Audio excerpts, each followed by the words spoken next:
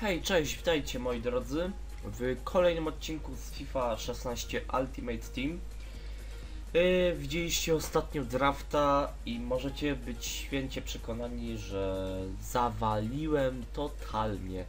Miałem Cristiano Ronaldo, miałem Ariena Robena i Wayne Rooney i kurde nie udało mi się jeszcze wygrać. No, szczerze czuję się z tym yy, bardzo uczulony wstydem.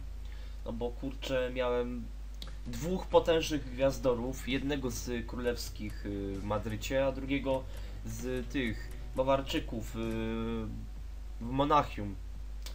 I szczerze czuję się zawiedziony samym sobą, ale co poradzić. Ale plus jest taki, że mogę popatrzeć jak tutaj kwitnie moja y, piękna drużyna, która ma 100% zgrania i 4 gwiazdki oceny.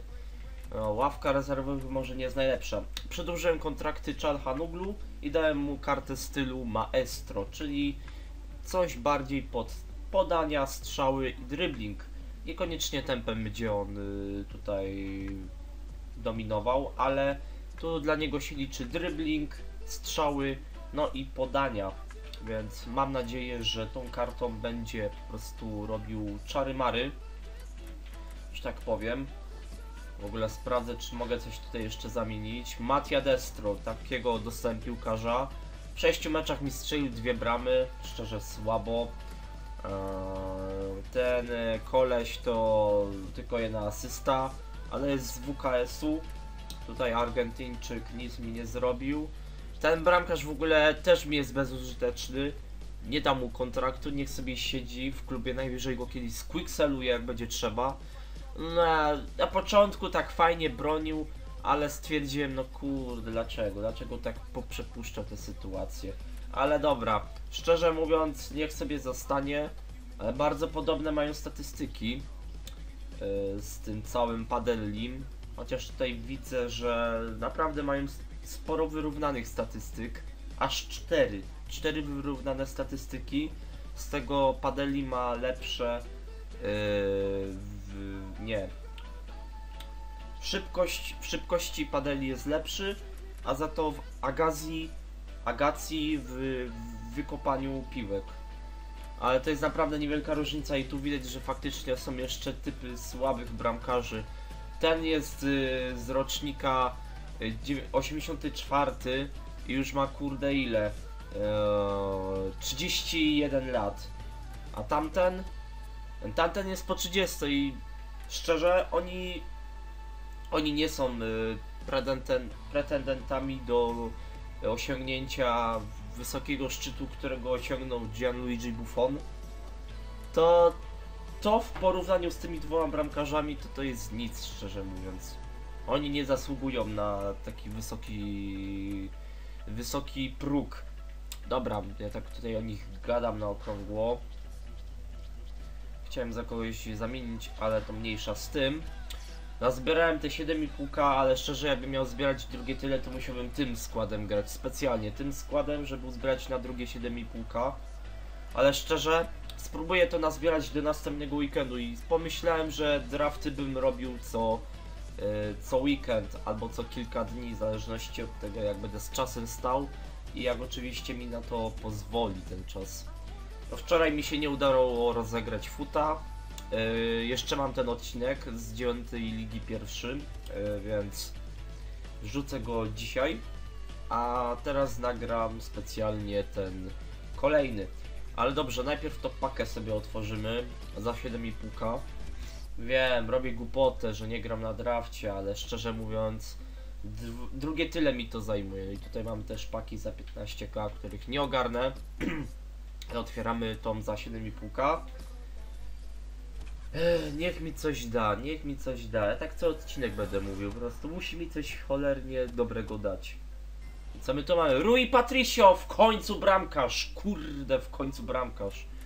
Chociaż szczerze nie powinienem się nim też tak jarać, ale jest parowanie, jest refleks, jest łapanie, wykopanie, ustawienie, no i ta szybkość. No jest wszystko zharmonizowane. I nie wiem, czy ja go nie wezmę przypadkiem. I tu mamy jakiegoś Moiniera z Ligi Belgijskiej. Hmm, szczerze, przyda się, bo będzie się zgrywał z prawym y, pomocnikiem, którego mam. I tu Brazylijczyka mamy. Ha, z ligi drugiej y, francuskiej. No, ZFC Sochaux. Niech się dzieje ciekawie, bo na razie Hiszpan trzyma czyste konto już od nie wiem od ilu spotkań, od 3, 4 albo już nawet 5 spotkań trzyma yy, czyste konto. Mamy AC Pajace, z Polaczkiem gramy, bierzemy nowe koszulki z Tuluzy. Koleś, ustąpisz? Dziękuję. A, cholera cię wie. A ja chcę w takich zagrać. Daj mi zagrać w koszulkach z Tuluzy. Ustąpisz? Oj, no wiem, że ustąpisz. A, on specjalnie czeka. No dobra. Uuu, Bundesliga. Bundesliga, tak, Bundesliga. No, obronę ma tutaj taką średnią, bo szczerze obrona z Wolfsburga jest chujowa bez obrazy.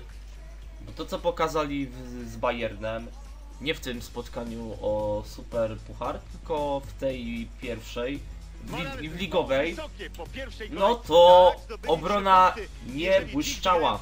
AC Pajace, no i FC Skopiowcy. Fabregas znowu w centrum uwagi, jeszcze przez trzy spotkania taki będzie, a potem to już, już go nie będzie. Dobra, Fabregas, no fajnie Cię widzieć, fajnie Cię pokazywać w koszulkach Tuluzy, a ostatni jego mecz zagramy w koszulkach Barcelony historyczne, więc będzie ciekawie. Niebezpie...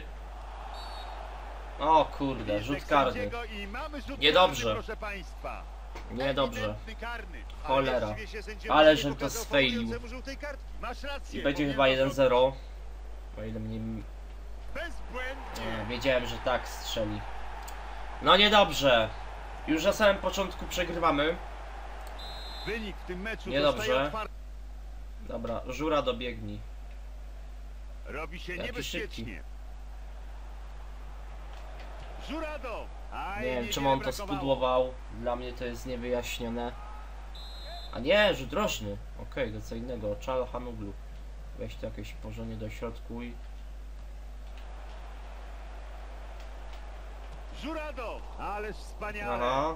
No spoko. I znowu pauzuje. No nie, no zaraz mnie szlak trafi. Dobra, kolejny rzut rożny. Ale lagi ma koleś No niesamowite.